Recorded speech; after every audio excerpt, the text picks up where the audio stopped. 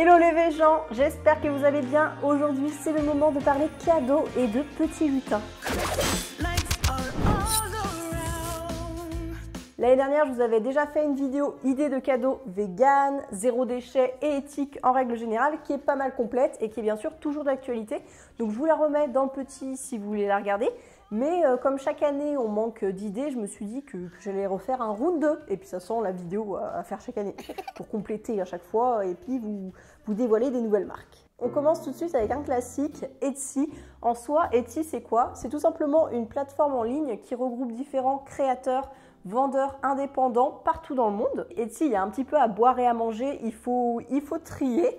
Et pour vous aider, bah, vous avez un moteur de recherche. Vous pouvez mettre des mots-clés comme euh, vegan, zéro déchet, ce que, vous voulez, féminisme, des choses qui vous parlent. Par exemple, si vous avez aussi dans votre entourage un fan de série, euh, je pense à la série Stranger Things, c'est vrai qu'il y a pas mal de produits dérivés sur cette série. Euh, bah là, vous mettez Stranger Things sur le moteur de recherche dans Etsy, et vous allez trouver. Vous des pépites, des choses qu'on ne trouve pas forcément de partout. Vous avez des filtres que vous pouvez mettre aussi. Vous avez le filtre des prix, le filtre Made in Europe, Made in France aussi, fait main. Donc euh, voilà, des petites choses comme ça pour catégoriser et puis un peu plus cibler vos achats. Ce que je vous invite à faire aussi, c'est de bien regarder les dimensions. Parce qu'une fois comme ça sur Etsy, j'ai commandé un terrarium qui avait l'air magnifique et j'ai pas regardé les dimensions. Et quand je l'ai reçu, c'était euh, une petite boîte carrée comme ça en verre. C'était vraiment ridicule. Franchement, j'étais un peu déçue, surtout que j'avais payé ça une blinde. J'ai fait bon, on n'y reprendra plus. Je regarde les dimensions à chaque fois. Aujourd'hui sur Etsy, j'avais surtout envie de mettre en avant le travail de Mary, qui est photographe et qui prend notamment en photo des animaux rescapés, sauvés de l'abattoir, qu'elle a recueillis avec son conjoint Adrien. Je vous mettrai bien sûr les photos par ici pour que vous les voyez défiler un petit peu. Euh, mais je trouve vraiment le résultat très poétique. On sent vraiment la sensibilité de Mary. Euh, on découvre euh, des animaux qui auraient dû normalement avoir un triste sort et qui là sont libres. Donc c'est quand même assez rare pour le souligner. Et sous chaque photo aussi, vous trouverez une petite fiche descriptive avec le nom de l'animal, son histoire, son, caractère aussi, avec une petite anecdote à chaque fois, ou alors euh, comment a été prise la photo. Euh, voilà, forcément, je trouve ça, je trouve ça très mignon. Emery propose aussi des photos d'urbex. Alors l'urbex, pour les personnes qui ne connaissent pas, c'est le fait de visiter des maisons abandonnées, des habitations abandonnées. Alors comme ça, on pourrait croire que c'est un cambriolage, mais non pas du tout. C'est des maisons abandonnées où il n'y a personne qui vit dedans, mais euh, en y allant sans détériorer, en laissant tout en état. Euh, et sans partager publiquement les adresses en fait euh, sur les réseaux sociaux, les choses comme ça. Ça donne des pépites et, euh, et c'est une passion pour les gens qui sont donc soucieux de respecter vraiment les lieux et euh, qui sont patients aussi parce que pour trouver les adresses, ça peut prendre du temps et effectivement, c'est pas quelque chose qu'on divulgue comme ça. Pour chaque photo, il y a trois formats que vous choisissez au moment de la commande et ils sont imprimés sur du papier mat. Mary a tenu à ce que ce soit du papier mat pour faire ressortir ses photos et en plus de cela et de ce joli travail, elle reverse l'intégralité de ses bénéfices à ses meilleurs amis antispécistes qui rencontrent des difficultés financières suite à une affaire judiciaire dont ils sont accusés à tort. Je ne sais pas si vous avez déjà entendu parler de la cellule Déméter qui n'a rien à voir avec le label Déméter. Donc la cellule Déméter, c'est l'alliance de la gendarmerie de l'État avec le lobby le plus puissant de France, le lobby agro-industriel le plus puissant de France, la FNSEA. Et cette cellule vise à restreindre, à silencier, à attaquer en justice les lanceurs d'alerte pour la cause animale et pour l'écologie en règle générale. Donc euh, là, vous vous doutez bien que par exemple des associations comme euh, L214, ça ne les arrange pas du tout. Donc je vous invite à vous renseigner davantage sur ce sujet si ça vous intéresse, mais je pense que si vous êtes dans le milieu de la cause animale, c'est important de, connaître ça. Surtout c'est très récent. Je ne pense pas en faire une vidéo euh, un jour, mais qui sait, qui sait, on ne sait pas. en tout cas, L214 a attaqué justement la cellule Déméter en justice avec le soutien de la Ligue des droits de l'homme. Et, euh, je ne sais pas si ça, si ça va payer, mais, euh, mais ce sera bien. Et donc cette année, il y a eu plusieurs lanceurs d'alerte qui ont été pris pour cible par la cellule Déméter. Je vous mettrai en barre d'infos le lien de la cagnotte Litchi que soutient Mary, que je soutiens également. Si vous pouvez donner, euh, franchement, ce serait génial. J'ai pas du tout l'habitude de partager des cagnottes. Mais, euh, mais voilà, là, je ne me vois pas faire autrement. C'est en plus des gens que j'apprécie beaucoup. Donc, euh, voilà, si vous pouvez euh, donner ou alors tout simplement, et eh bien justement, acheter une photo à mairie, ça soutiendra la cagnotte et, ce serait génial. Et je suis sûre que ça en touchera beaucoup d'entre vous, mais si justement cette période de fête, et notamment cette année, au lieu d'enrichir les grands groupes, on pouvait soutenir soit des petits créateurs, soit des causes qui nous semblent justes. Euh, ici, vous soutenez directement des activistes de la cause animale. Bah, pour moi, c'est vraiment les cadeaux qui ont le plus de sens. Maintenant, on attaque la catégorie lingerie et bijoux. Alors, je vous avais présenté pas mal de vêtements dans ma dernière vidéo sur l'industrie de la mode. Mais là, j'ai fait deux nouvelles découvertes en termes de lingerie. Donc, je me suis dit que j'allais en parler dans cette vidéo. Euh, on ne sait jamais si vous cherchez des idées pour belle maman. Donc ce ne sera pas forcément bienvenu, je vous préviens. Ou alors si vous aimez beaucoup votre belle-mère, mais là dans ce cas, ça ne me regarde pas. Après, faut assumer. Faut assumer. On commence avec la marque Bertie Isabeau. Donc c'est une belle découverte que j'ai récemment faite. C'est une marque de lingerie euh, aux valeurs inclusives, féministes, avec une démarche justement éthique aussi, très important. On est sur du coton biogots et de la dentelle française. Et ça, je trouve ça très chouette d'avoir de la dentelle dans la lingerie éthique. Parce que souvent, on se dit oui, on va partir que sur du coton, du bambou, des trucs hyper écolo. Mais la dentelle, c'est sympa, c'est joli. On va pas non plus cracher dessus. Et, euh, les modèles sont, je trouve, quand même assez originaux. Euh, et à la fois sobres. C'est en noir. Moi, je trouve que la lingerie noire, c'est la plus jolie. Et vous avez même des, euh, ensembles une pièce. Donc ça, en lingerie, ça se fait pas tout le temps. Et, et c'est bien aussi de le souligner. Et niveau taille pour Bertie Isabeau, on va du XS au double XL euh, et, c'est déjà bien, surtout que je vous avais expliqué dans la vidéo euh, sur l'industrie de la mode justement que c'était compliqué quand on est une jeune marque de, proposer un, panel de, taille qui soit quand même suffisamment large au niveau stock, euh, trésorerie, tout ça. Donc, je trouve ça chouette d'avoir quand même voulu proposer plus de taille que ce qui est habituellement proposé. Donc très jolie découverte et j'ai hâte de, commander à l'occasion de regarder cette jolie dentelle française. Je voulais aussi vous parler de la toute jeune marque de lingerie Je ne sais quoi qui a été lancée par Louise de la chaîne My Better Self. Alors ça fait un an qu'elle travaille dessus, elle a pas mal documenté ça sur sa chaîne YouTube justement, les dessous dans l'entrepreneuriat pour montrer que ça se passe pas forcément comme prévu. Ça se passe d'ailleurs jamais comme prévu. Il y a vraiment une très jolie démarche derrière. Elle a voulu axer sur l'inclusivité avec des tailles qui vont du XS au triple XL. Et au fur et à mesure du développement de la marque, je crois que Louise a quand même aussi envie de, de proposer plus de tailles. Donc ça c'est chouette parce que comme je vous ai dit, hein, quand on est une jeune marque, c'est pas toujours simple. Et niveau matière, on est sur quelque chose de très novateur, je crois que j'avais jamais vu ça. On est sur des sous-vêtements fabriqués à partir de fils de plantes de ricin, une matière qui est biopolymère et euh, certifiée Ecotex standard 100. Alors le rendu sur les photos, et je pense en vrai, Personnellement, je ne pense pas que ça soit mon style, mais ça a l'air très confortable. Ça a l'air aussi invisible sous les vêtements. Euh, et, au moins, on est sur une matière qui, est écolo et qui est, qui, est rarement vue. Quoi. On n'est plus sur le coton.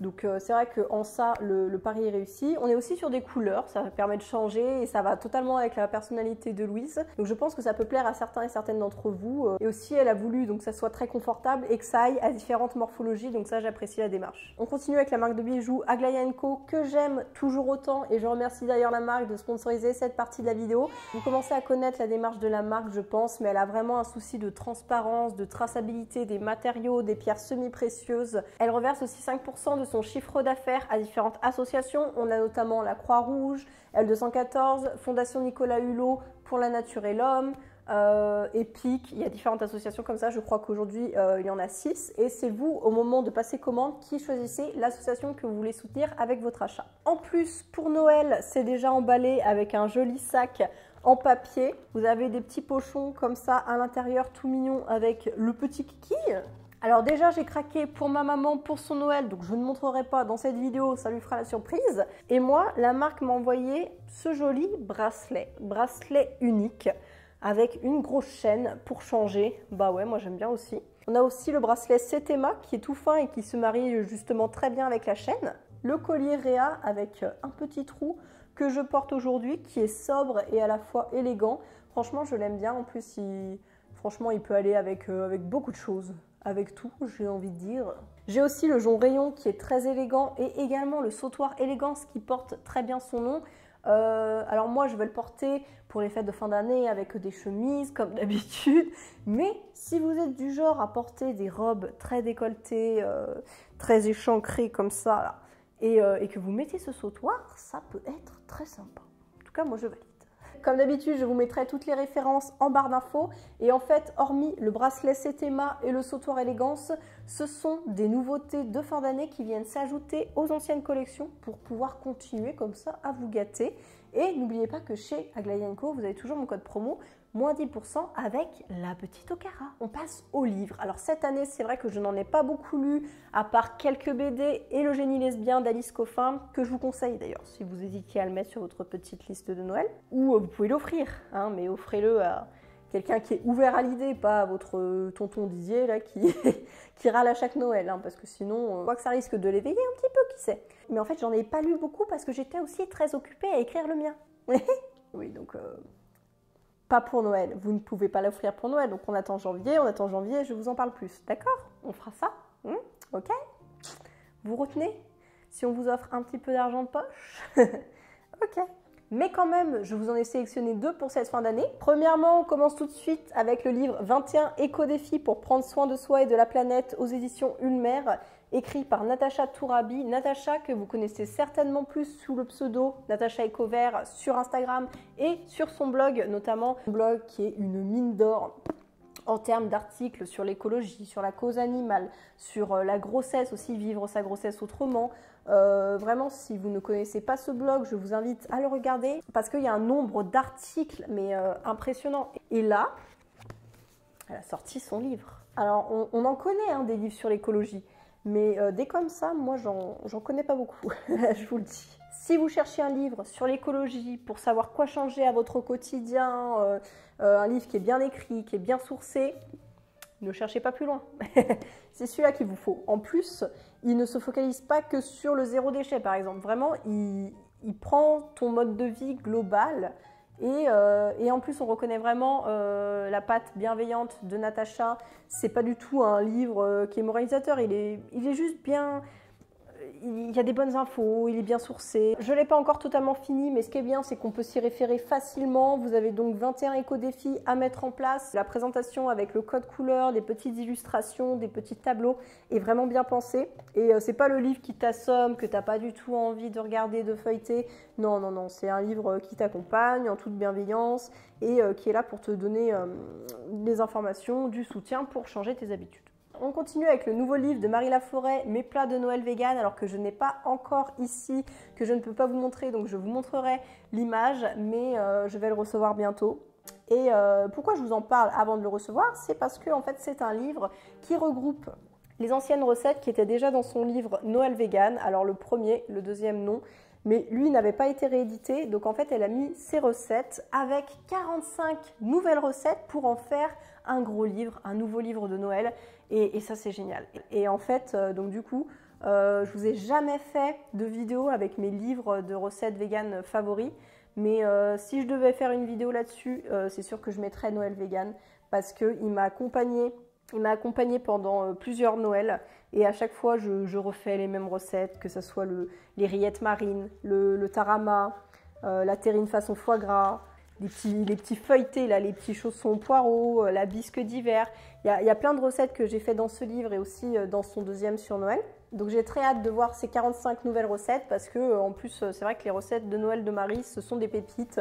Je trouve qu'elle maîtrise aussi vraiment très bien tout ce qui est simili poisson, tout ce qui est rillettes, terrine de la mer. À chaque fois c'est des saveurs qui sont très justes, qui sont pas écœurantes. C'est très gourmand et je me réjouis d'avance de découvrir ce livre et de refaire le tarama. Et vu que là on est en fin d'année, qu'est-ce qu'on peut offrir? Bim, un agenda pour passer l'année 2021 et oublier 2020. Oui, oui, oui, oui, on oublie cette année, on en commence une nouvelle avec un agenda, s'il vous plaît, ma foi, qui m'a l'air pas mal. Alors c'est la première fois que je prends un My Agenda, je crois qu'avant il s'appelait comme ça, mais là je vois que c'est My 365 parce que jusqu'ici, il faut que je vous avoue, mais j'imprimais en fait euh, des feuilles euh, chaque semaine avec euh, bah, le lundi, mardi, mercredi jusqu'à dimanche, voilà. La semaine, quoi. Donc j'imprimais en fait un, calendrier chaque semaine euh, et, je notais voilà à la main et puis après je m'en servais comme brouillon. Sauf que là je me suis dit euh, Marion cette année tu fais les choses bien, en plus c'est la sortie de ton livre donc tu, tu prends un agenda tout simplement. La, meuf se met des, des petits défis comme ça. Alors pourquoi j'ai choisi cet agenda? Notamment parce que j'en avais entendu beaucoup de bien depuis des années sur les réseaux sociaux. Euh, dernièrement, Delia Schuss en a reparlé sur son Instagram. Et on est aussi sur une belle démarche avec un agenda qui est made in France, fabriqué à Rennes, de manière écologique avec différents labels. Alors je ne vais pas vous mentir, ça se voit que le, papier est écologique et il est même un petit peu trop fin à mon goût. Mais c'est pour la bonne cause et au moins c'est vrai qu'il est compact. On ne peut pas tout avoir. Voilà. Il est vraiment bien, bien présenté. Il y a des, to-do list. Vous pouvez écrire plein de choses. Moi, je me suis même lâchée. Regardez, à la fin, j'ai acheté des gommettes. Alors, euh, j'ai oublié que j'avais plus 12 ans, donc je pense que ça va vite me passer cette histoire. c'est le genre de truc que t'achètes au début, tu sais, t'as un nouvel agenda, t'es tout bien, tu écris bien, tu mets ta petite gommette. À la fin de l'année, le truc, euh, il est dans les chiottes, il traîne, il ressemble à rien. Non, mais c'est vrai, chaque année, j'avais espoir quand je prenais mon agenda pour l'école, euh, pour l'année scolaire, là, et puis à la fin, ça ressemblait toujours à un vieux chiffon. Donc euh, là, je pense qu'en plus, avec le papier écolo, non, mais j'ai espoir, j'ai espoir. Écoutez, après, ça reste un agenda. Mais il y a quand même pas mal de, place pour écrire plein de choses. Alors, ce qui me plaît, c'est ce que je vous disais, c'est qu'il y a quand même la place de mettre vos to-do list, vos défis du mois, vos objectifs. Et après, vous avez aussi une vue d'ensemble du mois où vous pouvez noter, par exemple, la sortie du livre, le 14 janvier, euh, vos anniversaires avec les petites gommettes qui vont bien et bien sûr après euh, un agenda classique euh, basé en colonne. Alors à la fin, vous avez encore une fois de l'espace pour dessiner des pages blanches. Alors vous avez aussi des trucs, alors ça j'aime moins, ces petits pointillés là ça me stresse. Ça, ça me stresse parce que je me dis, il faut faire des colonnes, il faut faire un, un, boulet de journal, vous voyez, un truc hyper graphique, alors que moi, moi c'est bien les lignes. Pourquoi vous faites ça? On passe à la beauté maintenant avec mon coup de cœur de l'année. Je vous en avais déjà parlé dans une vidéo favori, mais c'est la marque d'Héloïse Monchablon, donc appelée Héloïse. Elle avait déjà commencé avec la lumineuse qui était une huile pour le visage que j'avais beaucoup aimé. Et là, elle a enchaîné avec deux autres produits, toujours des huiles. Donc on a la rêveuse qui est une huile démaquillante euh, et aussi une huile en fait nettoyante pour le soir qui est très douce comme ça et qui forme un petit lait au contact de l'eau. Je l'adore. Et la somptueuse, alors là, c'est une huile capillaire et je l'ai utilisée qu'une fois. Et puis bon, vu mes cheveux, c'est pas non plus, je suis pas la, la meilleure pour euh, vous parler de, soins pour les cheveux parce que clairement, je fais le minimum et j'ai les cheveux courts. Mais déjà, ce que j'aime bien, c'est que c'est une huile qui est, euh, sèche et qui se rince facilement euh, euh, à l'eau, au shampoing, et, bien mieux que des, bains d'huile de, coco qui sont hyper lourds et que tu fais 8 shampoings et tu en as toujours dans les cheveux. La rêveuse, donc je vous disais, je, je l'utilise que je sois maquillée ou démaquillée, et en fait, le soir, hop, j'en mets une petite noisette, je me nettoie le, visage, et, c'est un nettoyant qui est, qui est très doux.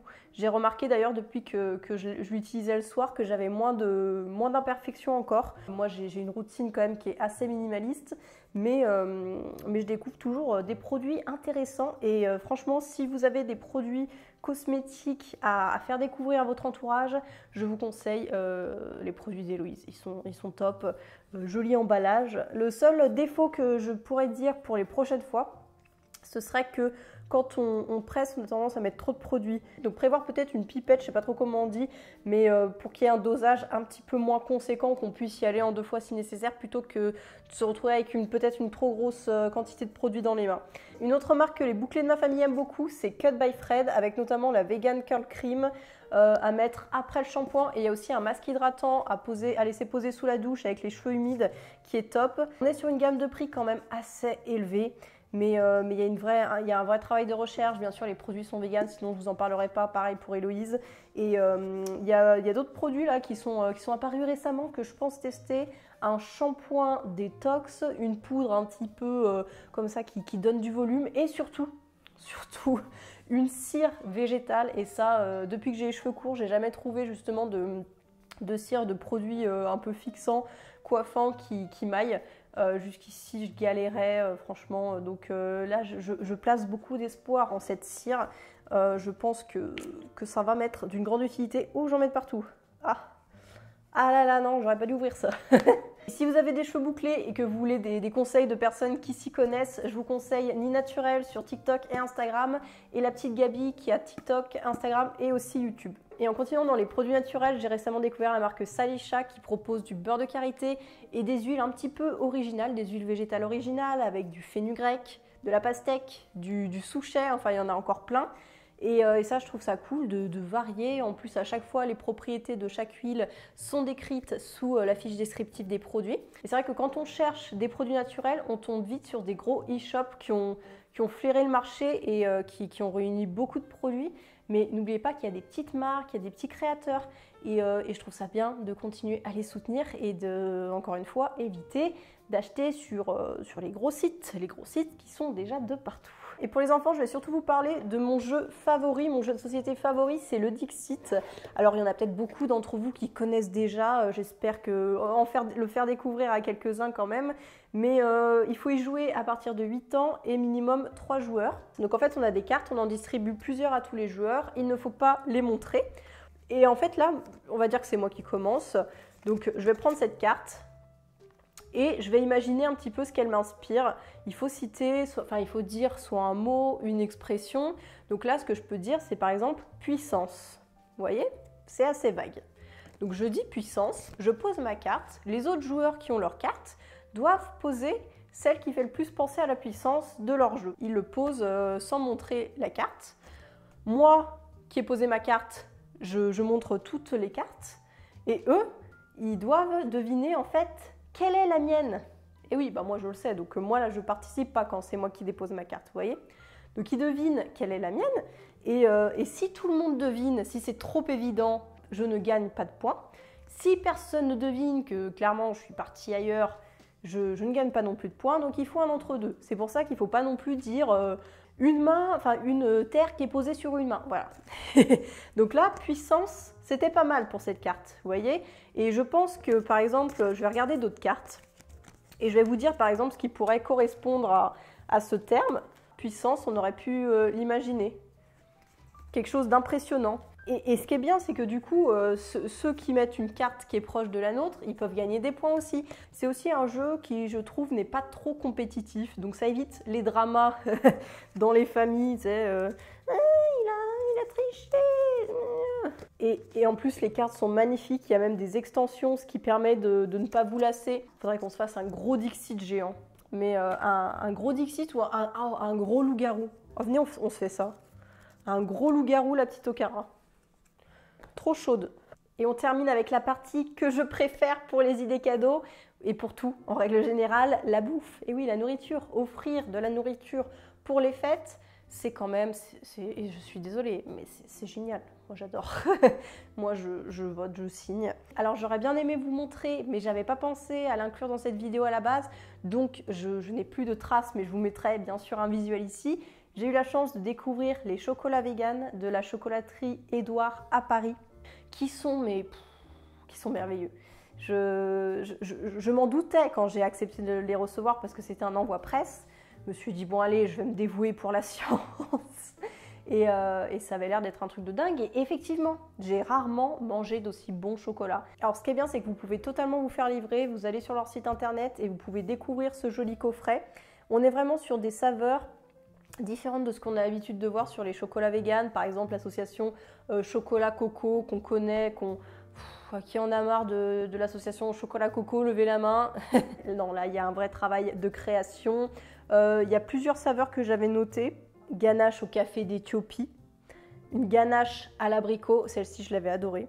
Abricot vanille, je crois. On en a une autre aussi au sarrasin grillé, après, une autre ganache à l'hibiscus et une dernière, euh, ou je crois que c'est l'avant-dernière, au poivre d'Ishigaki, avec à chaque fois un chocolat euh, grand cru, euh, bien sûr, qui enrobe le tout. Mais, mais comment vous dire, oui, voilà, c'était un, c'était un petit bonheur en bouche. C'était merveilleux. Et en plus, la boîte est magnifique. Maintenant, on va parler des vins. J'ai récemment découvert le site OE qui regroupe des vins sans pesticides. Je vous en parle régulièrement et à chaque fois, ça étonne. Mais oui, tous les vins et toutes les bières ne sont pas véganes car ils peuvent être filtrés avec des matières d'origine animale comme de la gélatine. Je vous avais fait une vidéo sur les boissons qui était très complète à ce sujet, donc n'hésitez pas à la regarder. Et euh, on peut se débrouiller en demandant euh, directement aux vignerons, vigneronnes. Euh, il y a des labels qui peuvent nous aider. Mais c'est vrai qu'avoir un site en ligne qui regroupe tout de suite des, vins bio, vegan, c'est pratique, c'est pratique. Et donc le site OE en regroupe pas mal. Il y a aussi pas mal de, sélections, quoi. Il y a du Côte-du-Rhône, du Languedoc. il y a de quoi trouver son bonheur. On termine avec une autre idée cadeau de bouffe qui je ne sais pas si ça vous plaira autant qu'à moi, mais à mon avis il y a des adeptes. Donc en gros vous allez sur le site de Asia Marché et vous dévalisez la boutique. Donc euh, il y, a plein de trucs. Il y a notamment la farine de tapioca que vous avez du mal à trouver, qui est aussi renommée fécule de tapioca selon l'emballage, mais en tout cas elle est fine. C'est pas la fécule de tapioca que vous allez trouver en magasin bio avec des, petits morceaux. Non, là c'est vraiment très fin. Il y a de la farine de riz gluant pour faire des mochis maison. Il y a un riz gluant aussi euh, pour faire euh, le riz euh, coco mangue qui est très consommé en Thaïlande. Il y a des nouilles, de la sauce soja premium, des champignons shiitake séchés. Il y a des, simili bœuf à base de champignons. On trouve aussi du, seitan en canette. Enfin, il y a plein de choses. Et c'est vrai que ce sont des produits qu'on n'a pas forcément l'habitude de trouver à côté de chez nous. Donc je me dis qu'un petit panier comme ça de, produits asiatiques pour, euh, en, faire un petit, en intégrer un peu plus dans sa routine ou pour se faire plaisir de temps en temps, euh, moi en tout cas ça, me dit carrément. Et là je suis contente d'avoir enfin acheté de la farine de riz pour pouvoir faire mes mochis parce que, parce que j'adore ça et que c'est très simple à faire en plus. Cette vidéo touche à sa fin, j'espère que ça vous aura donné des idées. Il y en a un petit peu pour euh, tous les goûts, comme vous voyez, on passe des nouilles à de la lingerie. pourquoi pas? Pourquoi pas? C'est possible que sur ma chaîne. N'hésitez pas à me donner vos retours en commentaire. J'espère que cette année de fête un petit peu spéciale va bien se passer pour vous, que vous pourrez retrouver vos proches, euh, et, que vous pourrez quand même passer un moment euh, agréable malgré euh, la situation. On se retrouve la semaine prochaine pour d'autres recettes de Noël et oui, je n'ai pas terminé. D'ici là, pensez à vous abonner, à fêter et on se dit à bientôt pour de nouvelles aventures.